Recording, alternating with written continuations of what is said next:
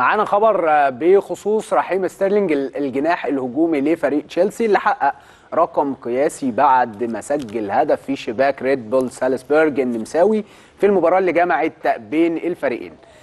طبعا ده كان في بطولة دوري أبطال أوروبا بالأمس والتعادل الإيجابي حسم مواجهة تشيلسي وريد بول سالزبورج بنتيجة 1-1 في الجولة الثانية لدور المجموعات ببطولة دوري الأبطال.